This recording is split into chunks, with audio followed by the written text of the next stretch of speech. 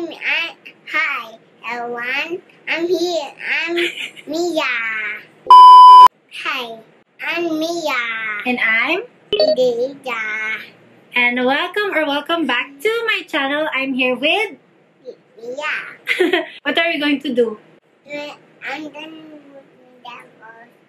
We're going to review these brushes while you're putting makeup on my face.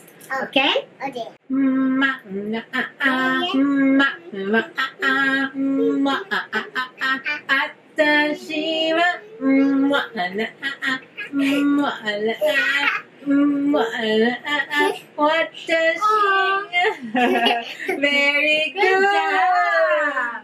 Let's film now.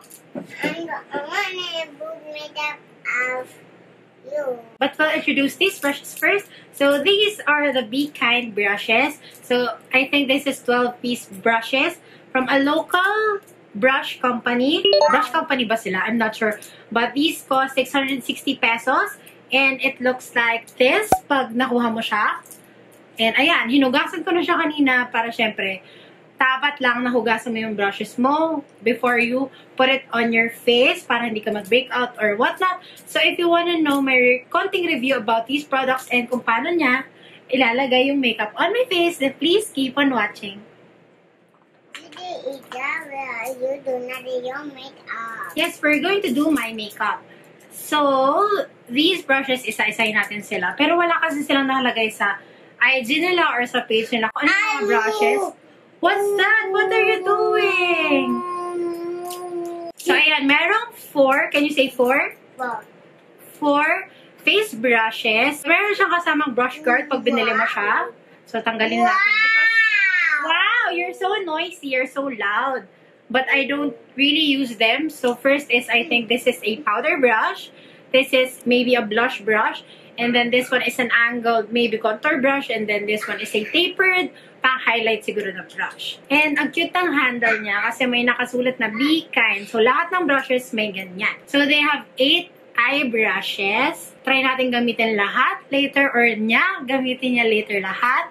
And now, let's start. But first, dahil wala nga silang pang foundation brush or buffing brush, I'm going to put on, or siya, maglalagay siya sa akin ng foundation. You will use this one. This is a beauty blender sponge. Oh. And then I'm going to put on foundation. May usual foundation from Benefit. May primer na ako kanina eh. So, ayan. Do I look silly? yeah, that is your dilly. I look silly? Yeah, it's like Jama, you dilly. Like Ama? Ama look silly? Yeah. Oh no, I'll tell Ama that she looks silly. There, and then you blend it. So you do like this on my face. I'll go. Okay.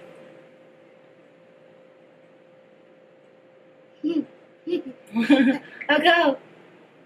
Harder, like, like that. Like that on my face. I'll go.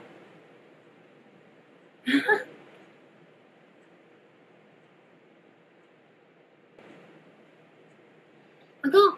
No, you do it. You, wow. You Wow. do dilly. I look silly, but if it's blended na, I won't look silly na. The Lola. Boom, boom, one, boom. Where are you doing, DJ Ida? Putting makeup on because you don't, you didn't finish it. Like that. You do me.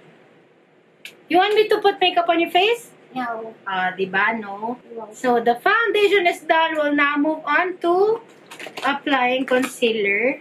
DJ Ida. Yes, Mia. Where are, where are doing? Putting makeup on. Where are you doing?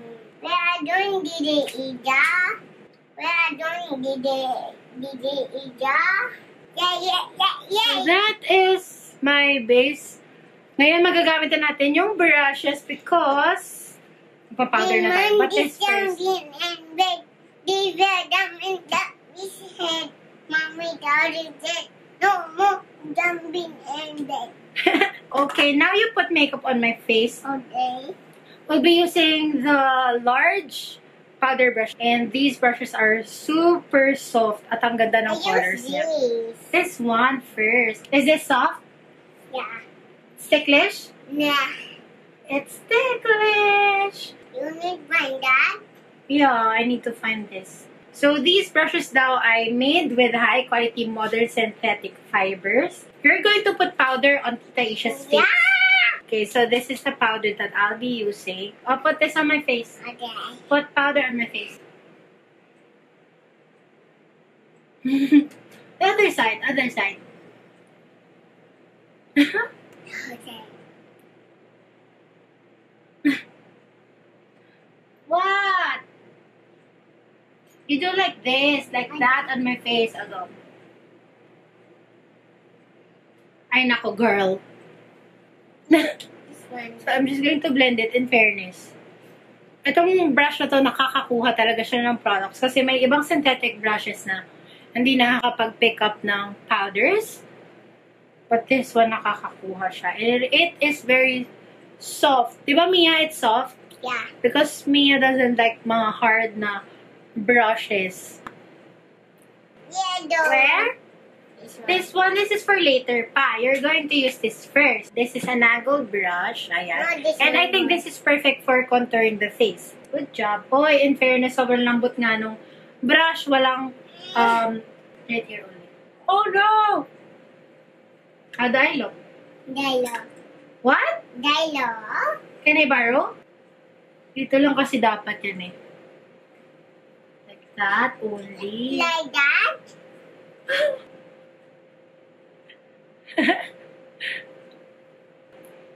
I'll put some on my forehead.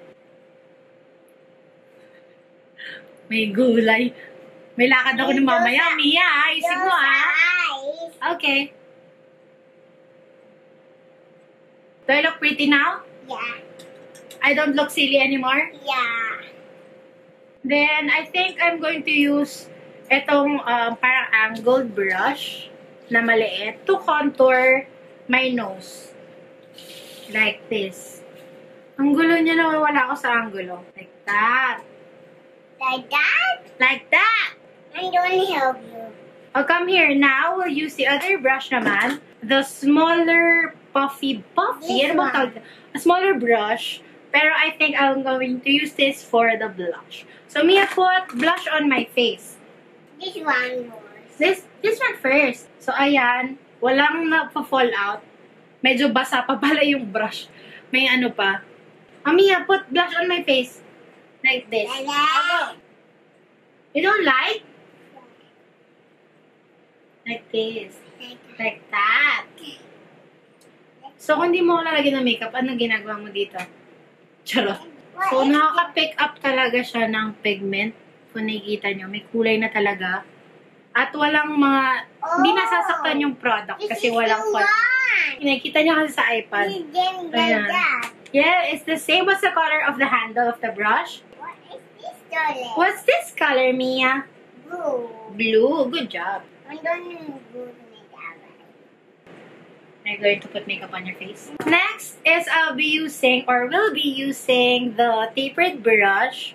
The last um, face brush na meron sa set. Huwag mo sirain yung brush. And ayun pala, in fairness, kanina nga na hinugasan ko siya, walang nag-fall out na brush. At my hair. So, ayan. Ang ganda nito pang highlight. Medyo malaki lang siya. Yes, Mia. what are you doing? I'm doing my makeup. I thought you were going to help me put my makeup on. Okay. Oh. Girl, hindi dyan yung highlight dito sa taas. There. This one was. You like that one? Yeah. Oh, wait. I'm going to spray first this Beauty Mist. Yung kay Ann Klutz. You know where to use that one? Yeah. You use that one. This is a spoolie brush yung hawak niya. And you use this for your brows. Just like this. Oh no, I won't hurt you. For the brows. Like this. No, I want to. Like that. Ay, naku, ang gulo niya. O, kaya harap na ako sa camera. Pampagulo ka lang, ang gulo mo lang eh. Like this, Mia. Don't like anymore? Oh. Close your eyes. Okay, I'm closing my eyes. Wow. Yeah! you pot pot! You pot pot? Now I just eat. I ate this up. The up. What?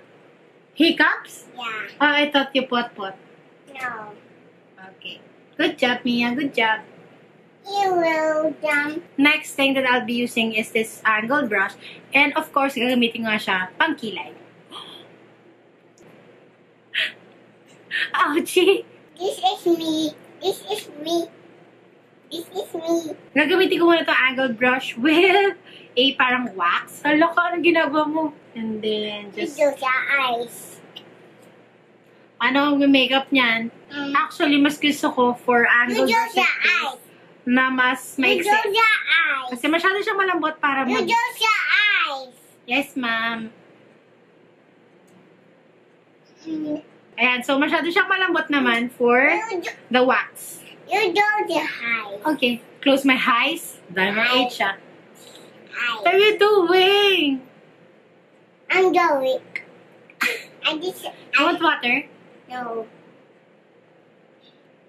Ano pinaglalagay mo, Mia? Puro highlighter na yung mukha ko. Ayan o, hindi No, na no, no, nalalagyan ng wax. Kasi sobrang lambot niya. Wala, ano yan? And then, this side. Ayaw niya talaga. So, yung powder na lang yung gamitin ko. Ayan. So, sa powder, okay, nakakapag-pick up siya. But the wax, hindi talaga. Want this one. Wala, girl. Hindi ko masyadong bet to, actually. Sorry. Sorry. Sorry! My God. Ay, nako. Hindi ko gusto talaga to. So, I'll just going to use a pencil na lang for the kilay. Daddy Winder, Daddy Winder, where are you? Here I am. Here I am. I'll do a do. Yeah, do. Thank you! Mommy Winder, Mommy Winder, where are you? Here Still I have am. hiccups? Here I am. Here, oh, you. Yeah, you. Thank you. This the window, this the window. Where are you? Here I am. Nandiyan pala I am. dalawa. How Wow. good. Ginugulo niya. Ah! Ginugulo. It's Lolo. Still have hiccups? No water? No, no vine. No angel. I Ang gulo tuloy ng kilay ko. Ang kulit mo kasi. Where are you going? I just don't do my window. Why? I thought we're going to vi- film a video. Where are you leaving me? Oh no. Mia doesn't like to film with me anymore. Bye. I'm going to Why use um, this one. Parang lip brush siya. And I'm going to use this parang to conceal dito sa ilalim. Where is Tita Ella? Tita Ella is, I think, downstairs. No. Why no? Yeah, this room. She's in her room. I'll go look. Come back here, okay? Okay. Wala, iniwan na niya ako. Ayan. So, this brush, okay naman siya. To conceal that. Mm, not opening. See? Because you should stay here. Stay here with Tita Isha. So, ayan. Ang gulo ng kilay natin. Kasi ang gulo ni Mia. Um, let's move on to the eyeshadows. So, we only have four brushes left na pwedeng gamitin for the eyes. So, this one, a bigger parang shader brush, I'm going to use lang parang a simple, parang bronzy shade. Ano na naman? Joke. I'm back. Pero parang hindi siya masyadong makulay with the brush. Where's Mia? Here I am. Okay naman tong brush. And now, I'll use this brush. Matte brown. Tapos dito lang.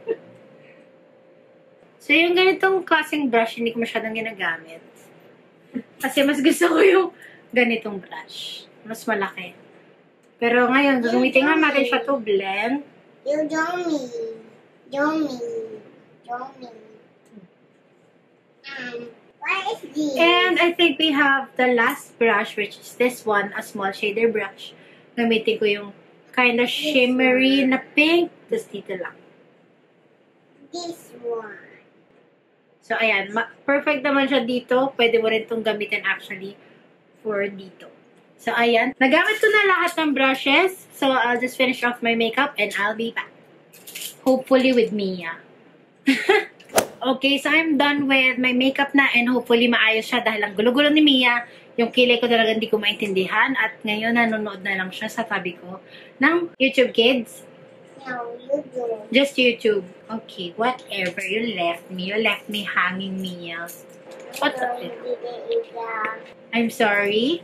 Aww. Anyway, let's go back to the brushes. So, meron nga siyang 4 face brushes and 8 eye brushes. So, for the face brushes, okay naman siya kasi sobrang lambot niya. And even though sobrang lambot ng bristles ng brushes na to, nakaka-pick up sila ng products or ng powders. Unlike unlike kino-compare ko talaga doon sa Michelle D brushes, lalo na yung pang-contour ko, itong hirap niya makakuha ng contour powder. But this one, ang bilis maka-pick up, tapos transfer niya agad yung product from the brush to my face. So, ayan. So, this one is a powder brush na pwede mo rin gamitin siguro pang all-over bronzer, kung gano'n ka mag-bronzer. And then, this one, I use for blush, pero pwede mo rin gamitin for contour, kung ganito kalaki yung pang-contour brush na gusto mo.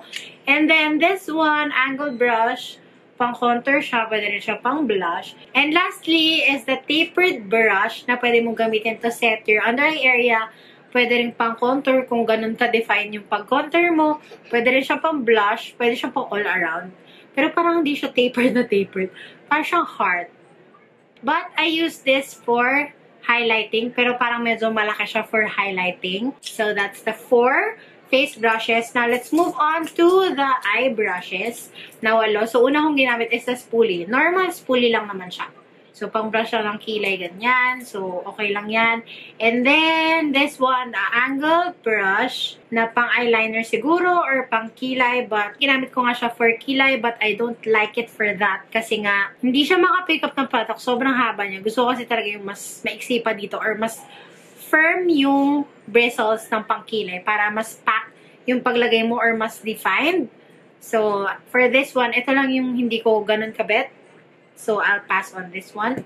Pwede siguro siya for eyeliner. Hindi ko tinry eh. And then, this one, this is a concealer brush na ginamit ko dito. Pwede rin siyang pang lip brush, actually. Ito pala, ginamit ko rin siya, yung angled na fluffy brush. Ginamit ko siya for contouring my nose. Pwede rin siya for the eyes para mas cat eye yung eyeshadow mo. And then, the shader brush, ito ginamit ko lang siya to put the eyeshadow all over my lids. Saktong-sakto lang siya sa lids. Kasi malaki siya. And ayan, I like it. And then this one, a bullet brush na hindi ako ganun ka-fan. Siguro kapag define lang talaga na super dark, yung ilalagay ko sa crease ko, okay to. Pero for a daily basis, no. And then the blending brush. So the blending brush is okay naman. It's large enough and small enough to blend my eyeshadows. And then lastly is a small shader brush. This one. And I use this para dito.